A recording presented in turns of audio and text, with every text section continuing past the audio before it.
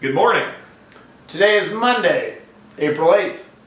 This is the Monday Minute! Yeah!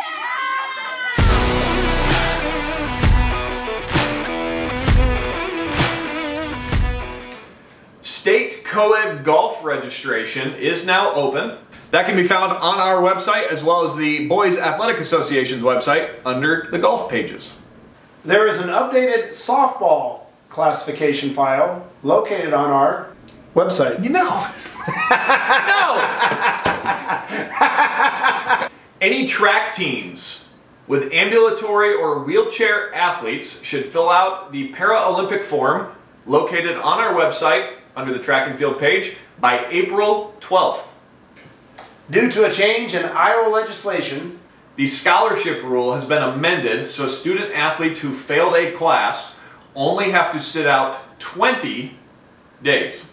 As a result of this new legislation, assuming your spring athletes started their scholarship dates on the first competition date, track and field athletes are eligible now, golf athletes are eligible April 9th, soccer and tennis athletes are eligible April 14th. One final note, next week is NFHS Spring Officials Appreciation Week. Just a heads up as you prepare for your events next week, give a little bit of love and extra recognition to our officials of our spring sports.